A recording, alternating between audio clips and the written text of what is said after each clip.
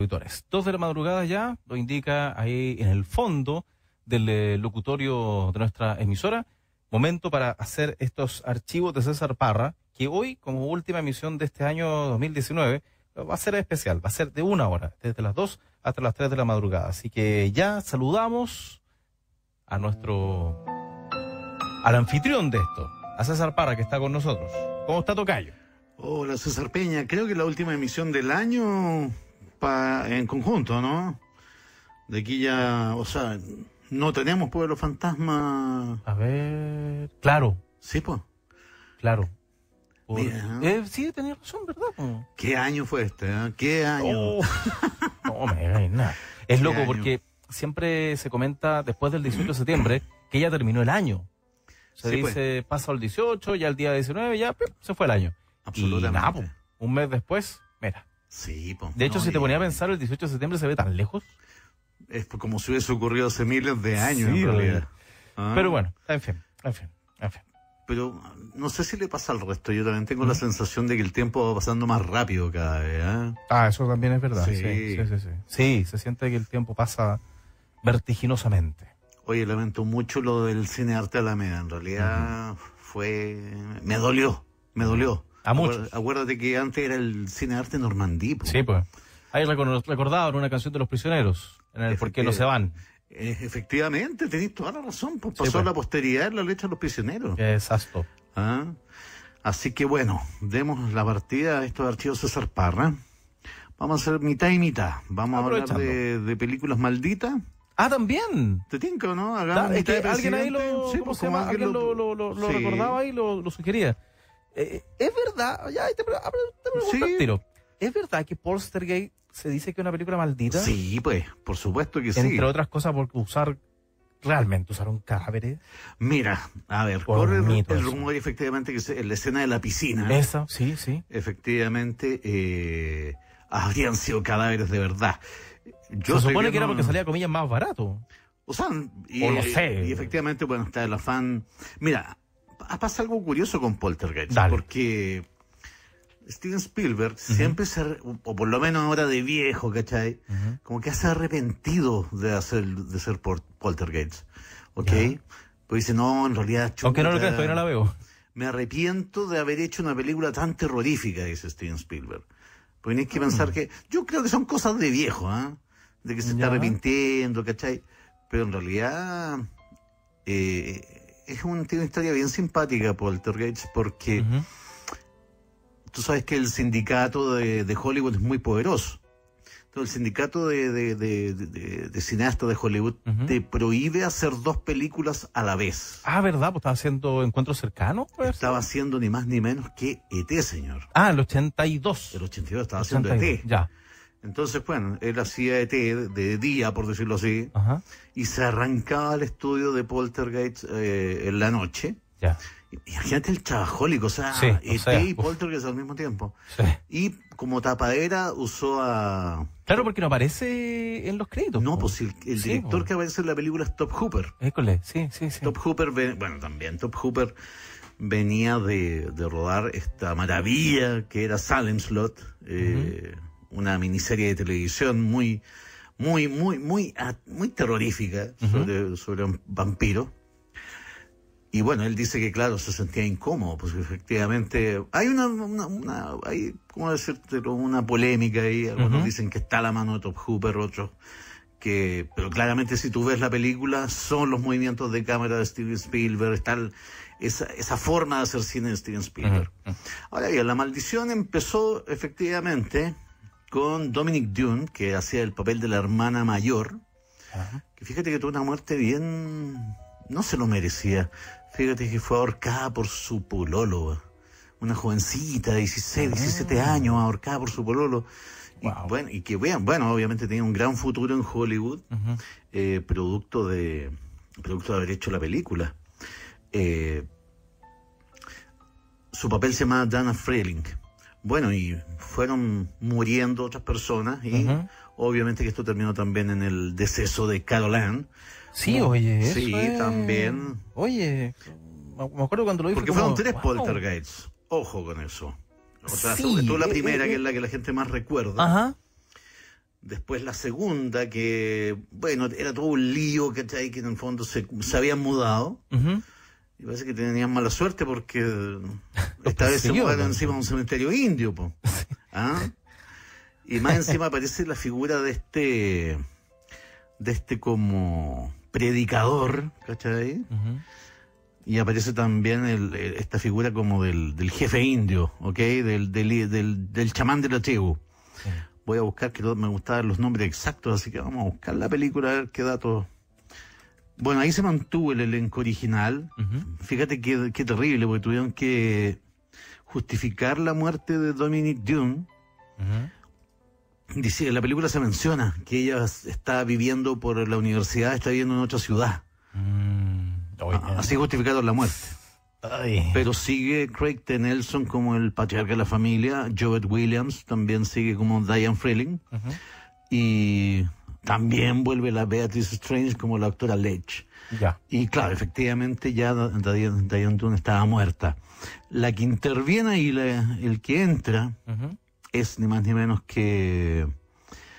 Espérate, estoy buscando aquí. Ujú. Tu, tu, tu, tu.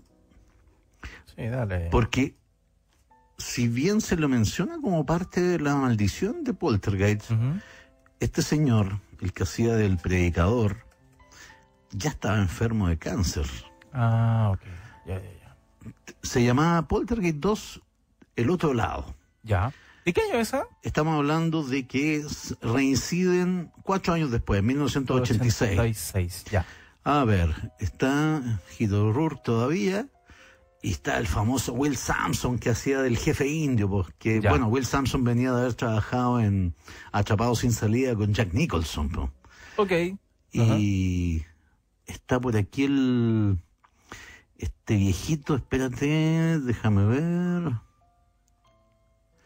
El pastor, espérate, ¿cómo es que se llama? Bueno, vuelve también la Zelda Rubinstein como Tangina Barrons. Ajá. Sí.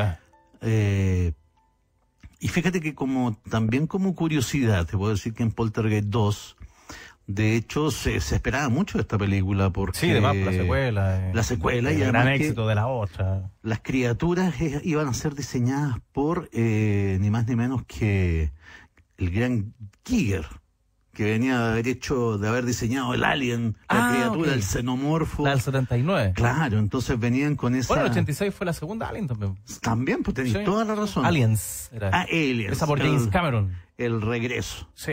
¿ah? Muy bueno. Julian Beck se llamaba Ya. el actor y efectivamente él se le elige por este aspecto muertecino Sí, sí, sí. y es porque efectivamente él ya tenía un cáncer estomacal. Él Uh. filmó la película Enfermo. eh. enfermo. Y enfermo mal, me tinca. Claro, ahora Ah, bien, en el fondo esta película le fue más o menos nomás, le fue más o menos mal. Entonces es que hay tres. Hay tres Ya. y, y como te digo, bueno, al poquito tiempo falleció Will Sampson, Ujú. el, el jefe indio, Sí, sí, sí. y fallece también obviamente que Julian Beck. Sí. Y esto sigue en la 3. ¿De qué año la tres? Vamos al tiro a eso. Creo Ajá. que es del 88, ¿ah? Pero Ah, hicieron casi la vamos a, tiro. a ver. Ya, aquí estamos con la 3. Ujú.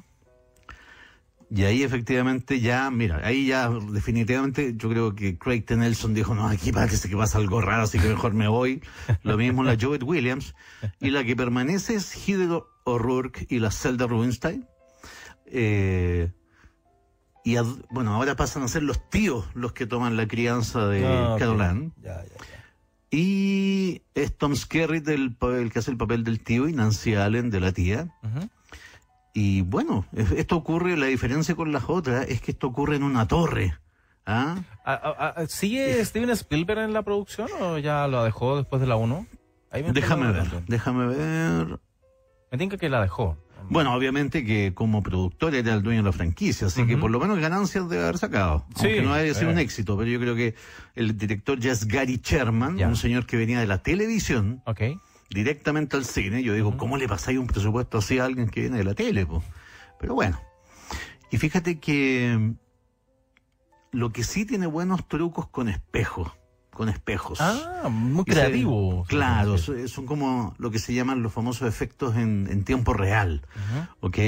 Así que también, sí, tú tienes sus momentos, obviamente, Pero eh, bueno, aquí después Heather O'Rourke enferma de la misma enfermedad, el famoso mal de Crohn, que de hecho nuestra Paulina Ninde Cardona tiene. Ah, Ella sufre el mal de Crohn, pero lo tiene bajo control. ya. ¿ok? Pero no pasó lo mismo con la pequeña Heather O'Rourke, que fallece efectivamente al poco terminar la película. Y esto obviamente que ya estableció la fama eh, de Mm, Poltergeist como claro. una película maldita. Claro. claro. Absolutamente. O sea, demasiadas muertes ligadas al tema. Hay, ah, bueno, de haber más películas. Hay, hay películas que de repente no sean de terror, pero que sí tengan un cuento maldito. Sí, bueno, sí vamos a ir a eso. Ya. No te preocupes, no te Ya, preocupes. Ya, De hecho, o si quería hablamos del tiro. Ya, ya. Hay una que tiene su su su maldición que es rebelde sin causa. Ya, con James Dean. Con James Dean, Ya. eh, Natalie Wood Ajá. y bueno, en 1955, dirección de George Stevens. eh, bueno, este es el gran papel de, de James Mm. Dean. Él nació para este papel. O sea, Sí. a ver, se convierte Icónico. en un ícono Claro. de gen- por generaciones y generaciones de lo que iba a ser la rebeldía juvenil. Sí. Sí. Eh, pero eh, el trío protagónico es el que tuvo mala suerte. Mira, te voy a contar en qué en cómo murieron los tres. Ujú. Espérate, a ver.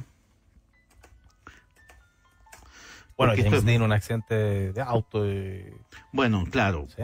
el tema es un, fue un accidente tonto, porque en realidad, a ver, era su auto de carrera, su Porsche Spider, pero esos, esos generalmente esos vehículos se llevaban en camiones para el lugar de la carrera. Pero James Dean insistió en irlo manejando él. Él no tenía que manejar ese auto ese día. Y bueno, las últimas palabras, según su mecánico Rolf Wutterich, que sobrevivió al accidente, no sé cómo, porque tenéis que pensar que además estos autos tenían cero seguridad. po.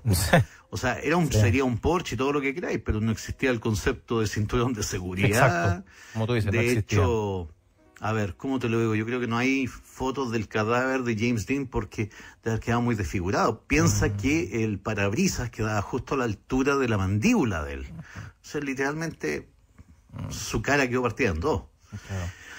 Y las últimas palabras de James Dean son, este tipo debería parar, le dice a Rolf Butterich a propósito del auto que venía enfrentándolo, Ya. que era obviamente el que finalmente causó el accidente. Oh, ok. Entonces ya tenemos ahí de este triángulo protagónico Sí, al sí. primer muerto. Sí. Sí. Natalie Wood muere también en, tú sabes que en misteriosas circunstancias, estamos hablando a comienzos de los 80. Ujú.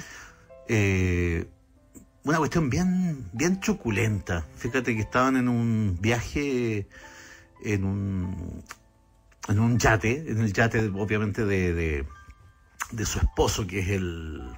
Ay, acuérdame por favor de Robert Wagner. Ujú.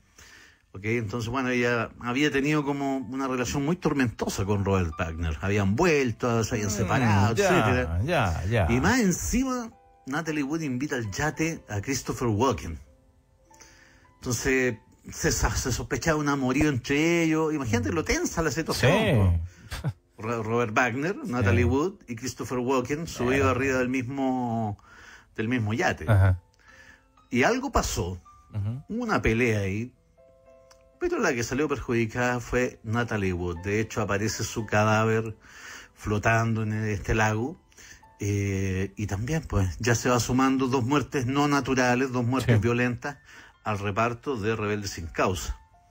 El tercero es Salmineo, Ya. un actor que tuvo pocas apariciones, de hecho, poca gente recuerda a Salmineo. A ver, para que te hagáis una, una imagen, Salmineo eh, era una, una- una estrella de segunda línea, un poquito como parecido físicamente a Ralph Macchio del Karate Kid. Ese ya. estilo de, chico era. Ya, ya, ya. ya, ya. Y él hacía como un chico nerd, ¿cachai? Que veía. Porque este tema es. El, tema de Rebelde sin causa es muy fuerte. Es como finalmente estos jóvenes que cuyos padres no quieren cumplir el rol de padre, ellos forman su propia familia, donde James tiene el padre, Natalie Wood es la madre, y Salmineo, eh, John Plato Crawford, es el hijo. Y Salmineo también fue acuchillado en una calle de Nueva York parece que fue una especie como, bueno, no le había ido muy bien en el cine en sus últimos años, y en una compra de droga No. muere acuchillado en una calle de Nueva York.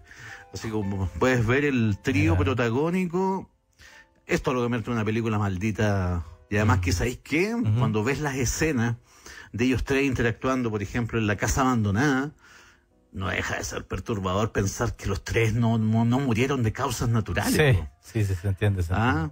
Hubo Sí. otros que sobrevivieron, por ejemplo, Jim Backus, que hacía el, pa- el del padre de, de James Dean en esa Ajá. película, fue la voz de Mr. Magoo muchos años en inglés. Ya, ya, ya, ya. Y terminó como uno de los que estaban perdidos en la isla de Gilligan. Ya, ok. ¿Te acuerdas del señor Sí. con plata Sí, de la isla de Gilligan? sí, Ese es Jim Backus. Ya, perfecto. O por ejemplo, el jefe de policía, eh, el jefe de policía de la película, eh, déjame acordar cómo se llamaba, Edward Platt, terminó siendo el famoso jefe del agente 86. Ya.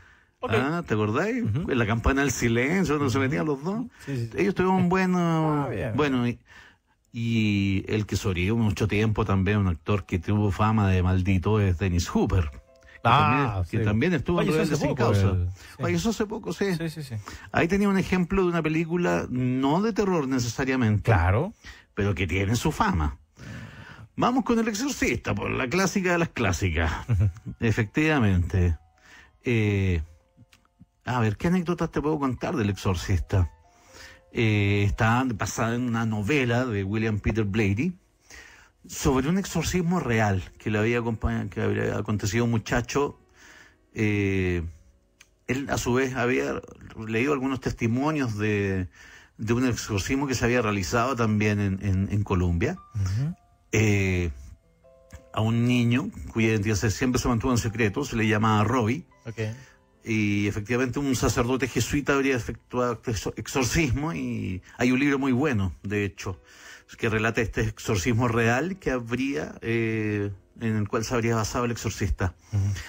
El reparto, wow. Jack McGowan, que hace el papel como del amigo actor de Ellen Burstyn, eh, que también había sido el doctor Abroncius en, en, en La Danza de los Vampiros.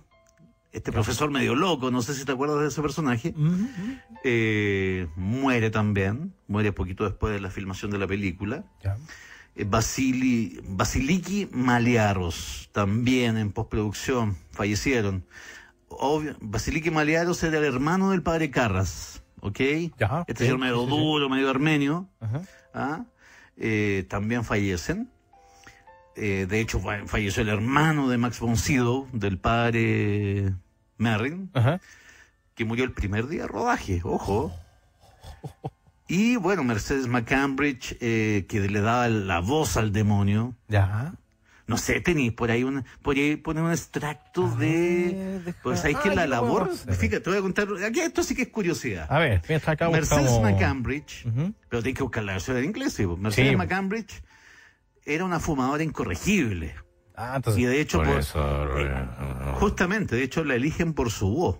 Y ella, por contrato, eh, tenía que tomarse además un cóctel como de huevos crudos, con, con whisky, Ya. así en la mañana para tener la voz más aguardentosa todavía. encontré, encontré el Así como la, como la del huevo fue en salida, pero peor.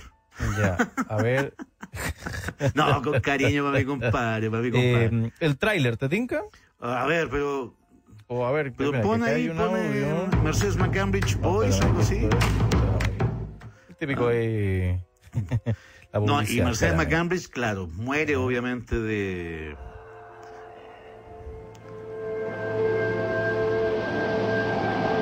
No, este es tráiler.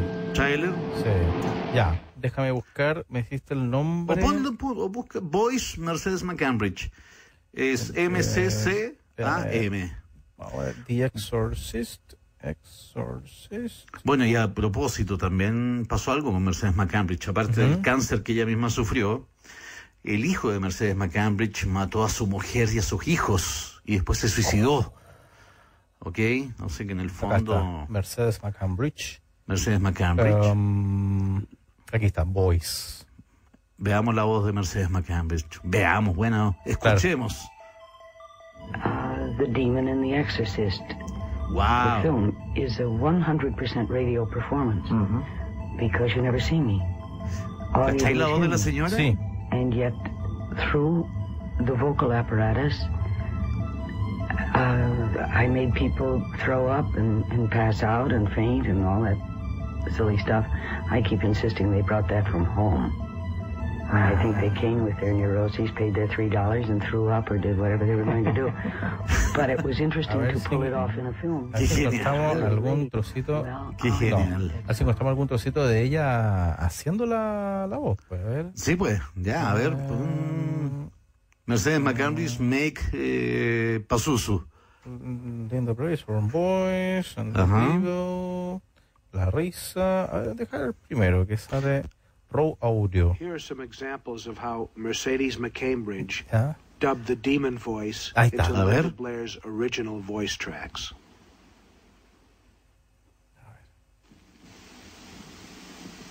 You might loosen these straps then.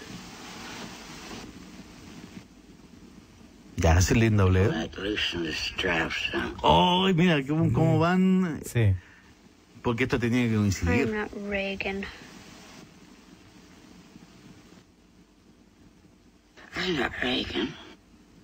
¡Qué genial! Claro, dos. Sí, pues, tú- ella tuvo que grabar I'm the sobre... devil! Now kindly undo these straps. And I'm the devil. Now kindly undo these straps. Oye, That's much too vulgar display of power. qué genial. Sí. Me recuerda un poco, guardando, no sé, Sí, por favor. Me, me recordó a, a la, mm, a la directora Ranemi, ¿te acordáis? De Carmen Fernández.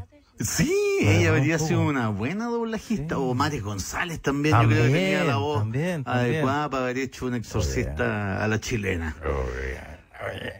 A ver, Like leave a message. ahí, está. A ver. Linda Blair.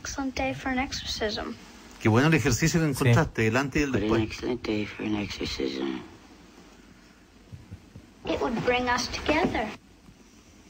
You and us. It would bring us together. You and us. Está bueno. Bueno, bueno. obviamente que se agregaban otras voces encima, etcétera, Sí, pues. para causar, pero a ver, ojo, otra Ujú. curiosidad. Ya. Eh, el director de, del Exorcista, Ujú. Eh, fíjate que hace poco dimos, bueno, a todo esto les anuncio oficialmente que eh, el primero, la primera semana de enero vamos a comenzar con el Exorcista Cine en el Cementerio General, que lo hacemos ya por tercer año consecutivo, a los martes y los viernes. A los que quieran ir, que tengan un- quieren un panorama de verano, Ujú. Vamos a tener Ah, ahí, vamos a tener ahí cine en el cementerio general. Wow. Ya por tercer año consecutivo. Oye, ¿eh? Y siempre partimos como cábala con el exorcista. ¿eh? Ya. Mi compadre Darwin, que me está escuchando, eh, se acuerda. Bueno, Bien, bien. entonces, fíjate que el año pasado dimos el exorcista en el cementerio, partimos Ya. con esa película. Ya. Y además dimos un, un documental adicional donde el director del exorcista, eh, el gran William Friedkin, fíjate que él va a Roma. Ah, ok. Hace, así estamos hablando hace dos, tres años. Ya. Y va a la escuela de exorcistas del padre Gabriel Amor, que yo la mencioné Sí, el otro día a propósito exacto, de mi amigo recuerdo. José Tapia. Lo recuerdo. Sí, sí, sí. Y él, fíjate que va y graba exorcismos reales. Y dice, y los va cotejando con psicólogos norteamericanos, etcétera, que dicen, yo, sabéis que en realidad no sé qué es esta cuestión. Yo me descuelgo porque sabéis que no, Sí. no sé, esto va más allá de una enfermedad mental. Bueno, la tercera bien. el listado es la profecía, obviamente. The Omen. The Omen, ah, con Ah, Gregory el otro Peck. día cuando hicimos el especial de película, la tocamos, pues. Sí, pues, A ver, efectivamente. déjame buscar acá. Ya. A ver, ¿qué te puedo contar? ¿Qué anécdotas te puedo contar de la profecía? Bueno, obviamente que... ¡Ay, que está buena la música! Póngala nomás más fuerte, no hay problema.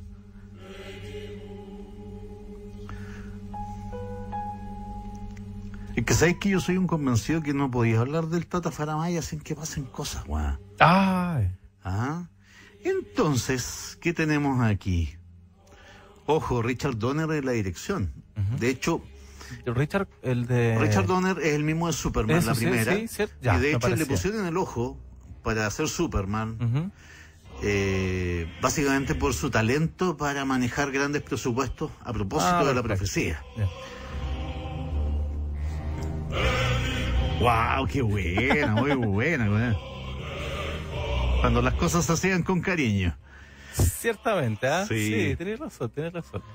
A ver, ¿qué te puedo contar de, de la maldición de la, de la profecía? Mira, el avión en donde viajaba Gregory Peck y el avión donde después viajó el guionista de la película, cruzando obviamente el, desde Estados Unidos hasta, hasta Europa. Fueron alcanzados por un rayo, weón. con una diferencia de horas.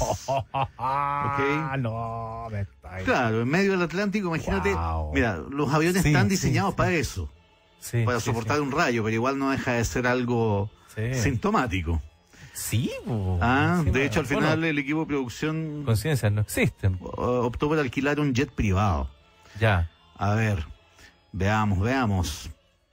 Mira, los productores de la película sobrevivieron a una bomba colocada en el hotel en que se alojaban por el grupo terrorista IRA. Pues, el, ejército republicano irlandés. Wow. Aunque seguro que... ah, mira, John Richardson, esto es increíble. John Richardson, el encargado de los efectos especiales de la película, especialmente imagínate, por ejemplo, la famosa toma, ¿te acuerdas del cristal que sale volando y le corta la cabeza al periodista David Warner? Una escena que es clásica. Murió en un accidente de coche junto a su asistente Liz Moore. Y ahí, adivina cómo murió Liz Moore. Decapitada. Igual que David Warner en la película. Era igual a la escena que habían filmado para la muerte de David Warner. Y el accidente, adivina dónde tuvo lugar. A 66,6. Oh, en el no, kilómetro me está ahí. 66,6 de la ciudad de Me Omen. Omen. Ni más ni menos. Pero con doble. M, a diferencia Ah, del título de la película. Wow. Eh, mira, at- hubo ataque y muertes por... Bueno, esto, esto puede ser cuando igual manejáis Rottweilers en una película, ¿ok? Hubo ataques y muertes por animales. Eh, Mm, ya, el ya. encargado de los Rottweilers, que, que bueno, obviamente el, el que puso los Rottweilers en la película, el entrenador de, de ellos, eh, fue atacado por los perros. Eso es rarísimo, pues siendo que eran de él. Mm, sí. Y otro fue devorado por leones porque la puerta de la jaula estaba abierta misteriosamente. Misteriosamente, tal cual. Y aquí nos vamos a una que tiene harto caldo, el bebé de Rosemary. Ya. Eh, a ver si encontráis algo del, de la OST del bebé de Rosemary. Mira, primero que todo, el bebé de Rosemary se filma en el edificio Dakota. El famoso edificio Dakota donde de- después, en 1980, asesinan ni más ni menos que a John Lennon. Mira, El mismo edificio donde se filma. Si Ya. usted quiere conocer por dentro el edificio Dakota, vea el bebé de Rosemary. Eh, bueno, obviamente que, que esta, esta película, que básicamente Mia Farrow hace de la madre de lo que será el diablo, eh, también, bueno, el compositor murió lamentablemente el compositor de la banda sonora, Christoph Comeda, coágulo cerebral, mira, ¿eh? causa muy similar a la muerte de uno de los personajes de la película. Aunque mira, ¿sabéis que Roman Polanski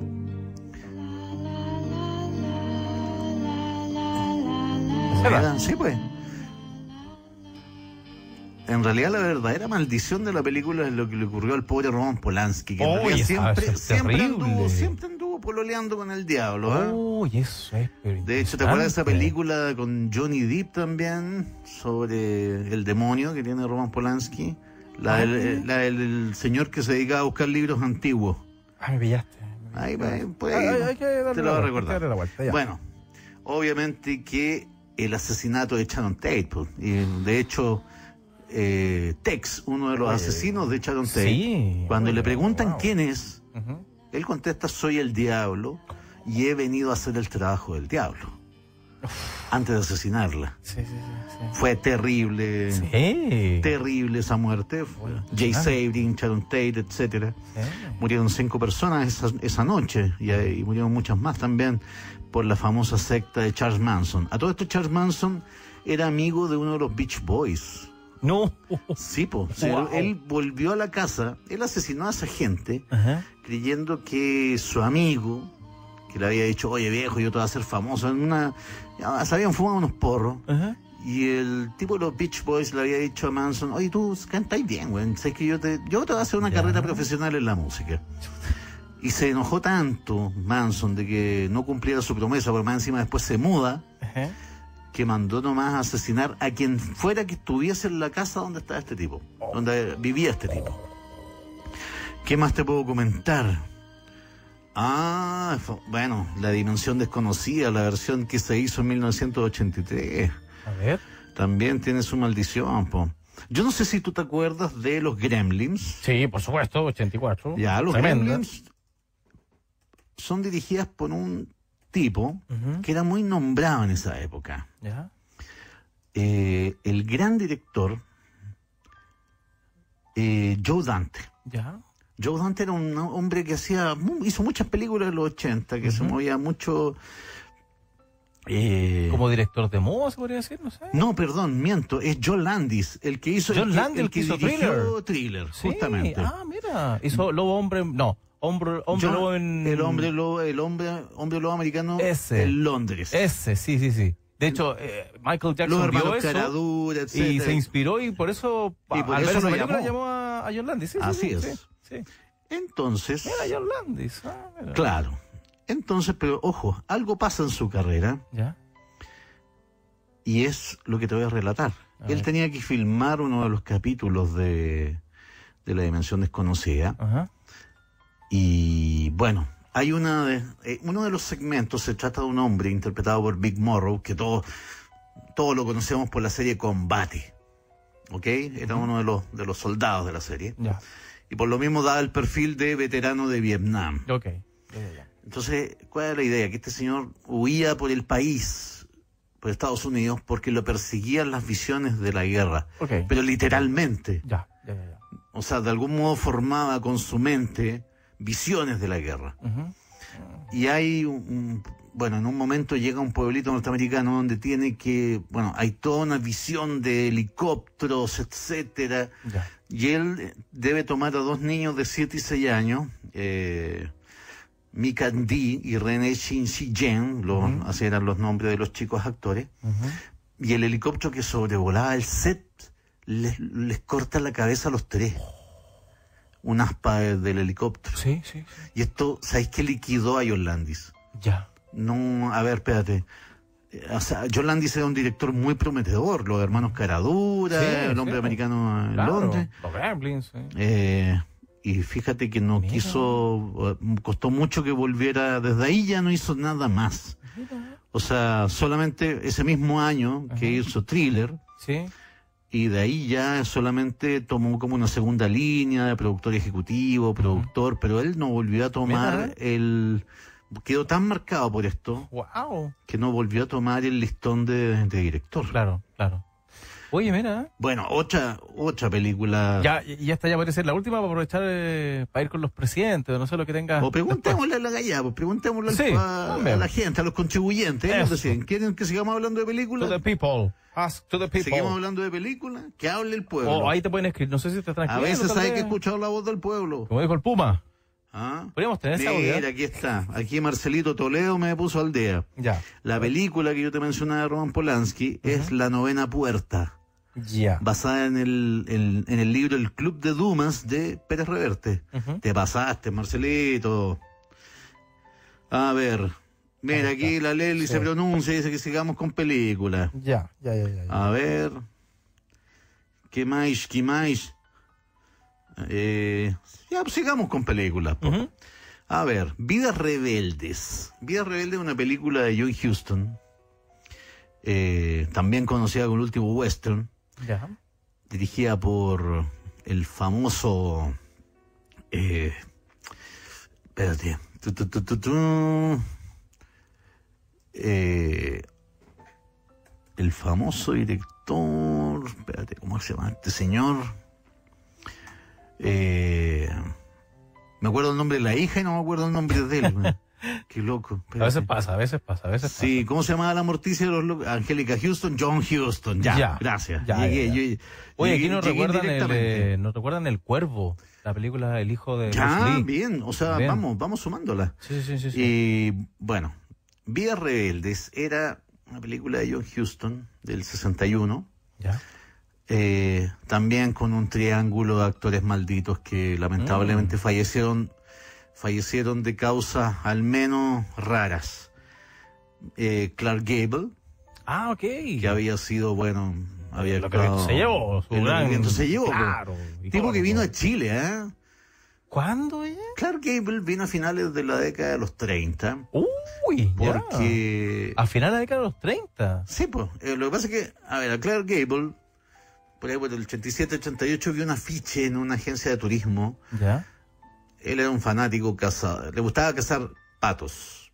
Patos. Entonces ve un afiche de Chile y Patos. donde sale sugería que es como el paraíso de la cacería. Chuta. Entonces llamó, pues llamó y preguntó si podía cazar patos, porque tú sabes que en Estados Unidos ya habían reglas que te decían una que tenía una cuota de 10 patos, ponte tú por persona. Ok, ya, ya, ya. Y, le, y Ay, claro mira. que él preguntó a Chile si se podía cazar todos los patos que él quisiera. Venga nomás, case todos los patos Uf. que quiera. Ya. Y bueno, estuvo acá, de hecho, eh, fue muy comentada su visita, imagino, época. carrera, imagínate. Eh, de hecho, lo típico, la, lo llevaron a una, lo típico que hacemos acá, pues. Llevamos, lo llevamos a una viña y le pusimos un poncho. Para como una- un poncho de guaso para sacarle Sí. una foto. Sí, con la Lo chupalla típico, la chupalla, así como claro. lo que hemos hecho con Putin, con Obama, con todos los demás. Ya. Y bueno, final- finalmente sé que tuvo una agenda tan apretada socialmente. Que no acaso ni un pato casi. que parece que no cazó ni un pato. No, no se sabe, no consta que haya ido al sur Ya. a cazar. Ya. Bueno, Mira qué cosa. y un, un Clark Gable ya en 1961, bienvenido a menos, muere de un infarto al poco terminar. Esta fue su última película. Ya. Marilyn Monroe, bueno, para que Mm. estamos con cosas. Sí. Murió también al poco tiempo, al año siguiente, de una sobredosis de Nembutal. Y Montgomery Cliff, que yo creo que si de haber vivido habría tenido una carrera tan grande como la de Marlon Brando, porque era un actorazo también, muere también en 1966 por eh, consumo de alcohol y drogas se excedió con las drogas y el alcohol. Lamentable. Esta película es muy, esta película es muy rara. El conquistador de Mongolia con John Wayne, Ya. 1956. Ok, uff. A ver, la típica superproducción de los años 50, así Sí, con- como tipo con Ro- Ben-Hur y Ben todo Hur, eso, con Romano y claro. cosas, pero esta era la vida de eh, la vida de Atila, weón. Ya. ¿Ah? Ya, ya, ya. Y mira el casting, pues eligieron a, a John Wayne con, para que sea de Atila. Ah, que. John Wayne en esa época Claro. la rompía. Entonces, por ahí la cosa. pasó algo raro ya la familia, o sea, perdón, se filmó en el desierto de Utah. Tú sabes que la magia del cine, por la magia del cine, el desierto de Utah pasa a ser Mongolia. ¿Cachai? O la Sí, China, la- la- sí, claro, el desierto de. Gobi, qué sé yo. Claro. Y La magia pa- del cine. Y pasa algo raro, po. Fíjate que el reparto de la película empieza a morir de cáncer desde 1975. Mm. Como a, a un residuo 15 años, 20 años después de la filmación. Primero Susan Hayward. ¿Y eso Muere, de cáncer. A, a eso voy, Ya, espérate, ya, ya, ya, ya, ya. Susan Hayward muere a, cáncer- a causa de un cáncer cerebral. Mm, Ya. John Wayne, Ujú. 1979, Ujú, cáncer al pulmón, fumador incorregible hasta la muerte. Dick Powell, también de cáncer. Y Pedro Armendáriz, actor mexicano, eh, se suicidó cuatro años después cuando se le diagnosticó un cáncer al riñón. Ah. Y además, adivina quién falleció de cáncer, po. Nuestra querida Agnes Morehead. ¿Mm? ¿Te acuerdas de, de Endora, la mamá de la hechizada? Oh, no, ya, ya. Que también tenía un rol secundario en Ya, el ya, Conquistador de Mongolia. No me acuerdo de ella, sí, sí, sí. Y esto después se supo, ¿sabéis por qué todos murieron de cáncer? ¿Todo el Ajá. reparto? A ver, a ver. Porque en Utah era donde se realizaban los ensayos nucleares. Ah, y no radiación. les avisaron. No, po. O sea, en realidad se sabía, también se sabía poco de los efectos de la radiación. exacto, po. exacto. Era como la era atómica. Sí, po. ¿Ok? Entonces Uf. nadie pensaba en las consecuencias. Oye. Ponte tú, el terreno estaba barato para hacer la película, porque se habían porque- hecho unos 6, 7 ensayos nucleares en ese sector. Y eso no lo sabía el reparto. Oye, bueno, acá, como te digo, se recordaba, era DJ Pachanga y se acordaba Marcelo allá Cauquenes, se acordaba de, mm, del Cuervo, pero también, y buena la duda, ¿películas chilenas de repente con alguna maldición? Déjame No sé si caería ahí la rubia de Kennedy. Yo creo que la, La rubia de, Carolina Kennedy, Fadich. sí, la rubia de Kennedy, porque ¿Podría? aparte de Carolina Fadich, Ajá. también falleció... Una película el olvidadísima, eso Sí, bueno, una película detestable. Yo la encuentro detestable. ¿Qué querés que te diga? O sea, es imposible de ver. Yo creo que es, es nuestra película maldita. Piensa. ¿Ya? Primero Carolina Fadich, lo sí, que le pasó. Sí, sí, sí, sí. sí. El Sebastián Dam. Sebastián Dam. Ah, el actor, ¿verdad? era- Sebastián Dam era el galán de los galanes en Sí, esa, en esa época. 80, principios 90. Yo diría el tiradito para mediados de los 90 y fíjate que nadie sabe de Sebastián Dam. Mm, O sea, no, es que no lo estoy pelando, pero es como que su pero- carrera sí, sí. decreció desde ese momento. Te, te sigo, sí, sí, sí. Decreció absolutamente. Y el señor que hacía el trauco, ¿Ya? porque esta, esta cuestión era muy rara, mezclada la rueda de Kennedy con el trauco. Oye, sí, ¿ah? El señor que hacía el trauco era el mismo, ¿cómo se dice ahora políticamente correcto la palabra? Gente pequeña. Era gente pequeña este señor. po. Ya. Por algo voy a caracterizar al trauco. Ujú. Y fíjate que también tuvo problemas de salud después de filma, de realizar el circo de los Montini, donde hacía del, Ok. del patriarca enanito de la. Ya, ya, ¿Ah? ya, ya, ya, ya. Eso. Él también tuvo una fea muerte, fíjate. El, em, y, mu- y una muerte que no. A ver, ¿cómo? bueno, esta película es como el 95, Sí. por ahí. Así que ahí también tenemos como una pequeña película Mm. maldita chilena. Porque en el fondo el reparto, en el fondo, si no murió, Que tenemos dos muertes ya ahí, Sí, sí, sí, sí. es como que pasó el olvido. Sí. pasó al olvido. A ver, nos vamos también con Superman de... eh, La, bueno, en realidad la 78. maldición de Superman No, ha, no, ha arrastrado claro. a varios actores, ¿eh? Sí, sí, sí. empezando por George Reeves, que no se sabe hasta el día de hoy si lo mataron o se suicidó, Ujú.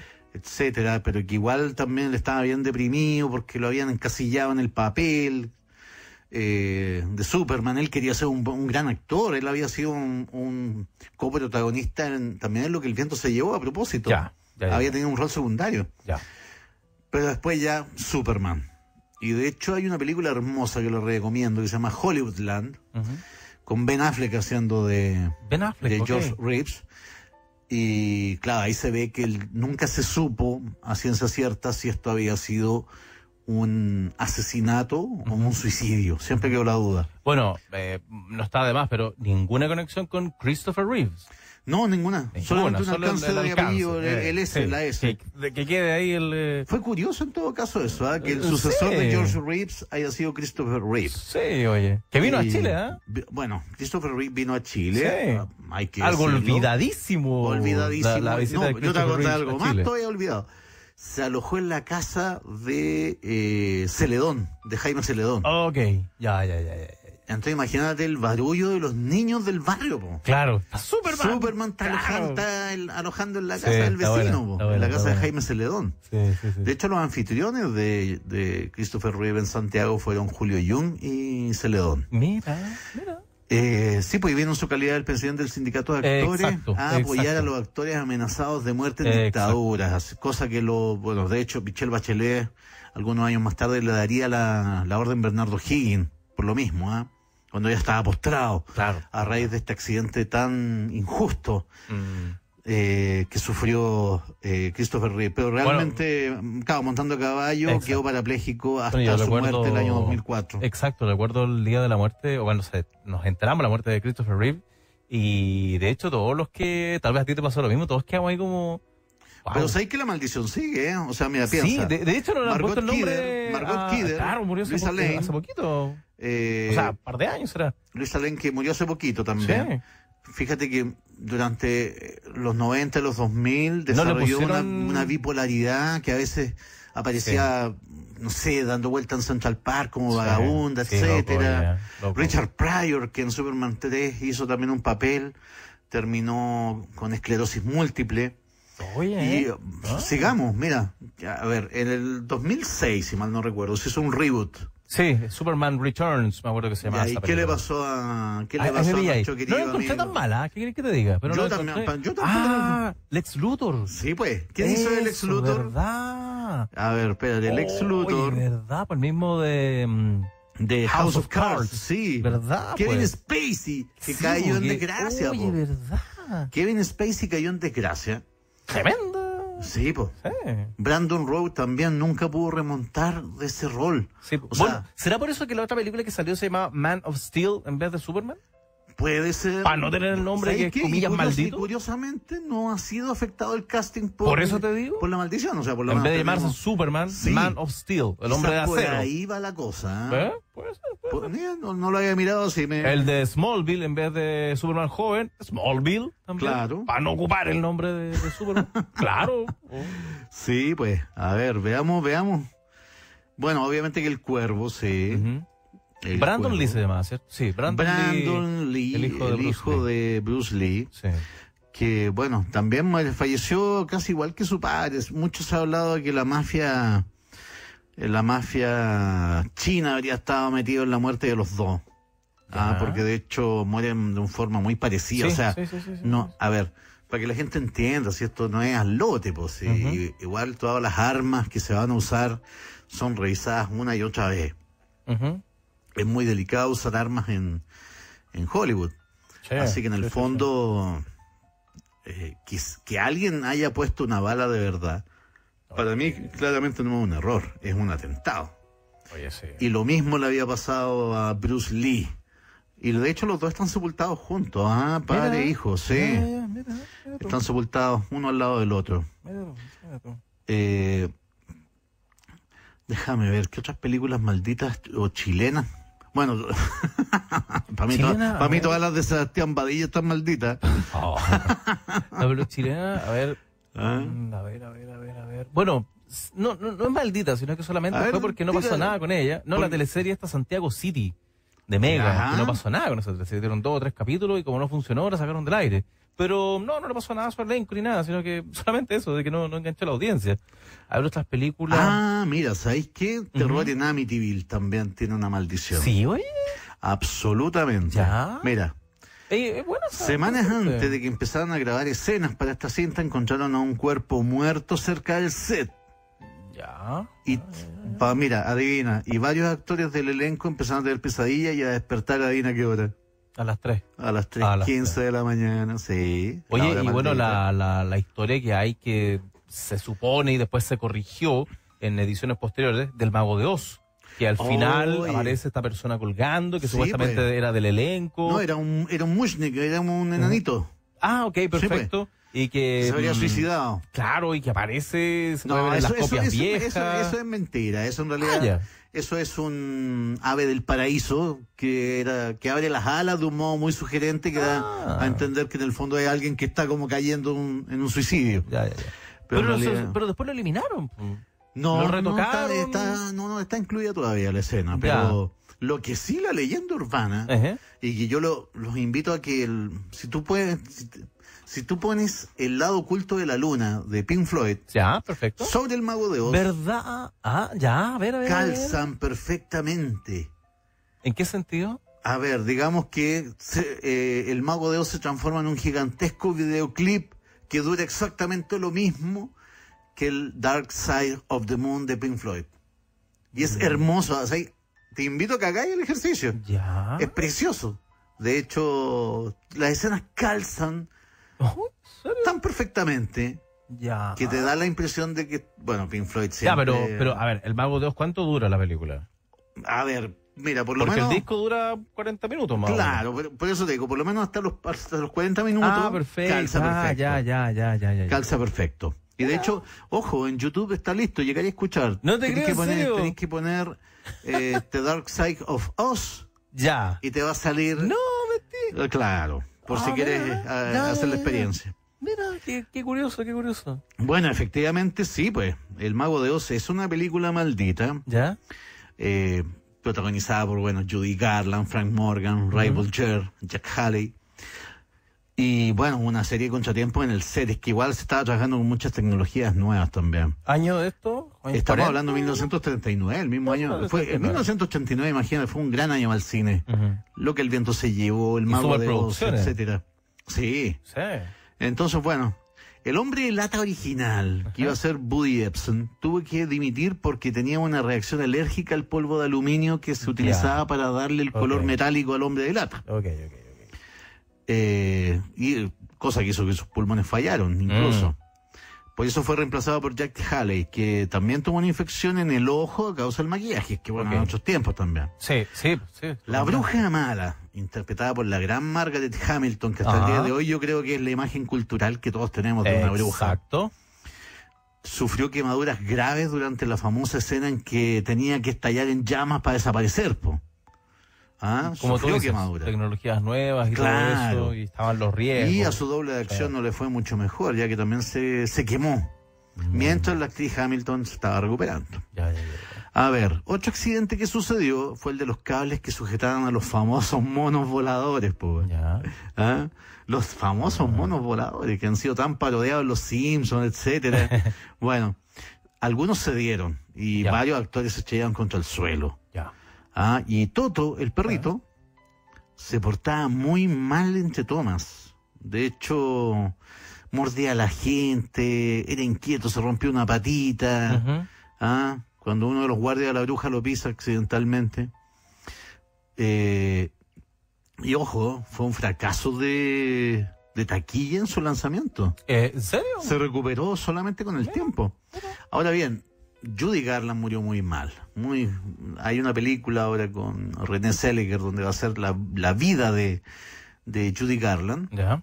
Eh, pero murió muy mal, murió adicta al alcohol, etcétera. Murió en los 46, 47 años. Ah, joven. Muy joven. Muy joven. Y fíjate que el error ¿Por histórico qué será aquí- eso, oye? no sé, no sé, no sé. El tema del exceso y el cine, hay un libro muy bueno que lo recomiendo que se llama Hollywood Babilonia. De Kenneth Anger, donde él analiza efectivamente esta relación del vicio con el cine, todos estos suicidios, etcétera. No, si la historia de Hollywood es una historia, la ciudad de los sueños perdidos. Mm. ¿Qué le vamos a hacer? Sí. Y fíjate que hubo un error histórico aquí, pero a ver, hay errores y errores en las carreras de los actores. ¿Ya? Fíjate que no es que haya rechazado ella el papel, pero Shirley Temple, que era la niña de los rizos dorados, era la niña más querida de Hollywood, el estudio no se la quiso prestar a, creo que fue a 20th Century Fox, no se la quiso prestar a Metro Goldwyn Mayer para que fuera la protagonista del Mago de Oz. Y por eso tienen que recurrir a Judy Garland. Mm. Este papel estaba hecho para, Mira. para la pequeña... sí, sí, sí, sí. Obvio. Mira, la- las cosas, bueno, de repente uno cuando ve estos videos en YouTube de las de las películas, te das cuenta de detalles y es como, wow, uno queda plop a veces Sí. con, de- con muchos detalles de películas que prácticamente incluso no se iban a hacer, porque todo el mundo dijo, ¿cómo vamos a hacer esa película? Está loco. Y después, mira, son eh, ¿qué? películas inolvidables para todos nosotros. Así es, Eh, eh, así es. Impresionante, de verdad, esos videos de, de. El otro día lo, lo- lo recordaba, hay una, mm, se puede hacer una miniserie en YouTube que se llama Las películas que nos hicieron, The Movies That Made Ah, Us. sí, pues. Son cuatro Ya. capítulos y está bien interesante eso para ver ¿A dónde en, se encuentra, perdón? En Netflix, perdón. Netflix. Las películas que no se hicieron. Exacto, sale en un VHS. Bien, bien ah, no, no, ojo, no te confundas, porque hay una que se, está- que se llama Las películas de nuestra vida. Es esa misma, po. Sí, pues no, pero son, es como los aspectos extraños o oscuros de los rodajes de los cazafantasmas. Esa es, pues. Sí, pues, pero se hicieron, pues. Sí, pues esa, esa misma Sí, serie. sí. En, em, en Netflix. Que claro, los detalles de Casa Fantasma son cuatro películas. Sí, efectivamente, como las más emblemáticas de los eh, 80, 90. Eh, Está Duro de Angelito, Matar, Mi Pobre de Matar Angelito. y Ah, ¿cuál es la, la última? Dirty Dancing. Dirty Dancing. Y Duro Matar. Ah, claro, lo había nombrado ya. sí. Efectivamente. Está, está buena esa serie. Está, está, sim- Mira, ¿a quién se le ocurre? A Marilyn Manson nomás se le tenido que ocurrir hacer una película Anticristo Superstar. Y de un disco también, me acuerdo. Sí. El disco se llama así de Y de hecho, bueno, eh, cuando empezaron a hacer la película, eh, empezó a tener pesadillas. Una de las de las más horribles, según él, fue cuando va a su casa, abraza a Rose, Ujú.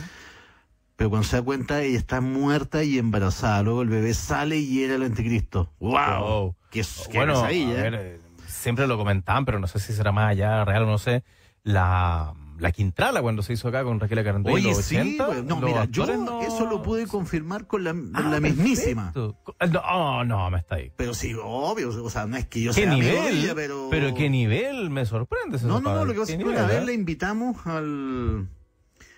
Una vez le invitamos al Sanatorio Franklin. ¿En serio? Sí, pues, ¿A la doña? a la doña. Epa, ya, ya, ya. ¿Qué Y nivel? fíjate oye? que ella era muy respetuosa del tema del más allá. De hecho, Ya.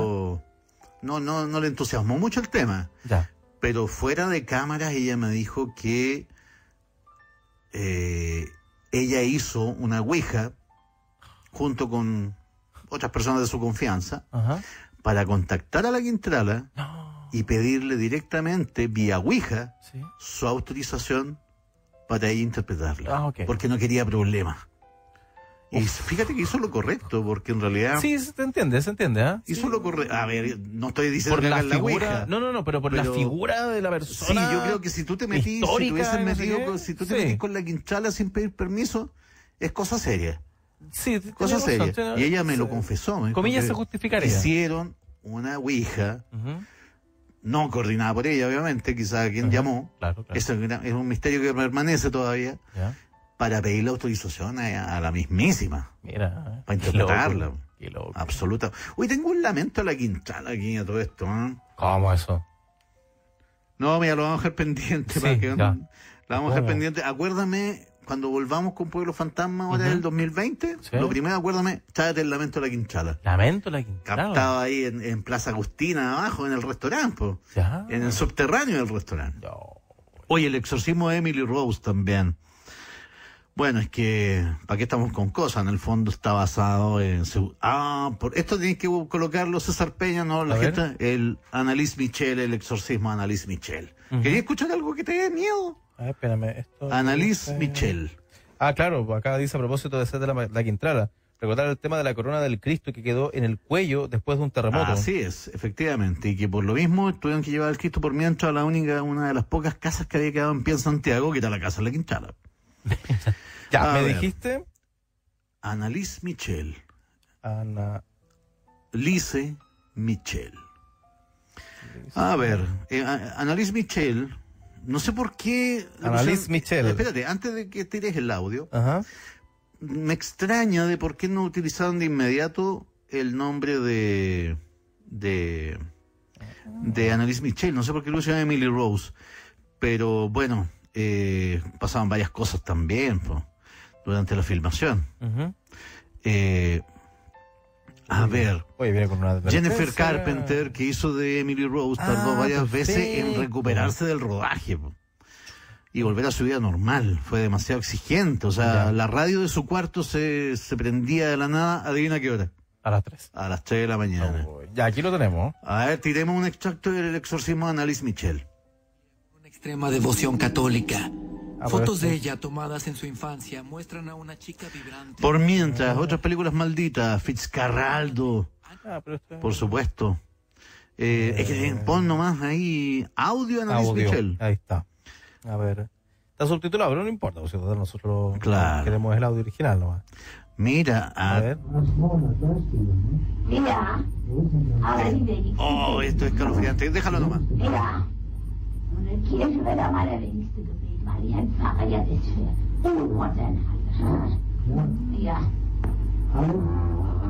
Fast. Ojo que estos audios estuvieron ocultos hasta el estreno de, de Emily Rose. Porque mira, en la escena del juicio, en el caso de Emily Rose, usaron este audio. Ah, tenés razón, ¿verdad? Para pa, pa, pa, pa que el cura ahí Claro. eh, se pudiera. No, pero sube los volúmenes si estos gritos tan fabulosos, eines. Un exorcismo, una posición real, pues compadre.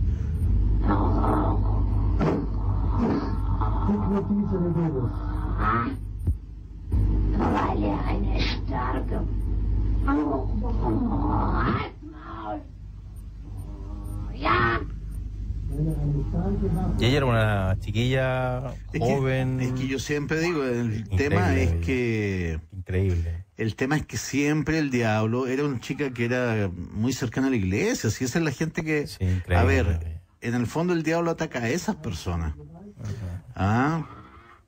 No, no estamos hablando de que se interese en Marilyn Manson el diablo. O quizás si se le hace un anticristo superstar, sí.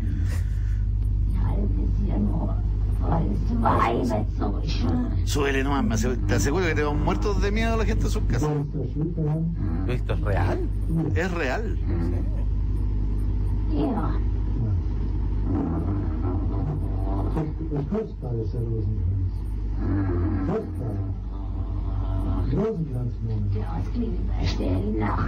Oye, se pasó, se pasó. Increíble, ¿eh? Sí. Bueno, como te digo, en el fondo se utilizaron audios reales para En el juicio, como decías tú. en el juicio Sí, sí, sí, que eran de Annalise Michel. A ver, Bueno, con esto ya yo creo eh, cerramos acá, sí, porque, mm, bueno, primero ya estamos en, eh, en la hora también y eh, ha sido un viaje bien entretenido por el cine. Y, Así es. Y bueno, películas malditas que, eh, ojo, como tú bien lo decías, no solamente tiene que ver con películas de terror, sino que puede ser prácticamente cualquier estilo de película, cualquier, eh, cualquier estilo de película. La puede, puede Sí. estar envuelta en cosas que van, van más allá. sí pues, bueno, y en el fondo yo agradecerte, César Peña, hemos tenido un gran año, lo hemos pasado muy bien, creo. Sí. Eh, hemos hecho realmente historia en la radio. Mucha gente dice, ay, me recuerda a la bailona, me recuerda al doctor Morty. Creo que hemos creado un buen proyecto ahí con, Sí, con Pablito va. Fantasma, va Va bien, va bien, va bien. y con los archivos César Parra. Así que, bueno, no te voy a desear feliz año porque trae mala suerte hacerlo antes, ni tampoco al, al, al pueblito que nos sigue. Pero sí decir lo siguiente, bueno, primero los últimos saludos. Ah, decirles, eh, bueno, insistir en el tema de que Phil de aquí, que también me decía, sigue con la película. ¿Ah? Eh, Marcelo, Marcelito Moya, también el ufólogo de Valpo. Eh, saludos también para ti, amigo mío. Eh, decirles que, bueno, empezamos con el cine en el cementerio la próxima, se- la primera semana de enero. Eh, yo creo que va a ser el martes. Y vamos a empezar con El Exorcista. Es más, podríamos, vamos a, a retomar estas películas malditas. ¿ah? Dale, Vamos a hacer un dale. ciclo de películas malditas. Así que quedan invitados. Y también a los tours de mañana, si quieren ir. Mañana tenemos la ruta de los olvidados y tenemos el sanatorio Franklin. Eh, más 569-775-73995. De hecho, mañana en la noche voy a estar limpiando, vamos a estar haciendo la limpieza de un after school Ya. que está, fíjate que bueno, de, de día los niños obviamente bien, ningún problema, pero en la noche no te puedo decir ni el, ni el nombre ni el lugar. Sí, sí, sí, sí, sí. Eh, fíjate que los cuidadores siempre una sombra que los agrede, Mm, etcétera. Vamos a ver qué es lo que pasa ahí. Mañana en la noche a esta misma hora voy a estar metido por ahí. Dale, dale, Así que, pueblito, sea cortés, ande con cuidado, edúquese lo más que pueda, respete para que lo respeten y que Dios nos ampare. Eso. Eso, cuídense y nos vemos en el 2020. Dale. Gracias a César Parra, que nos ha acompañado con sus archivos a esta hora a través de las ondas de ADN.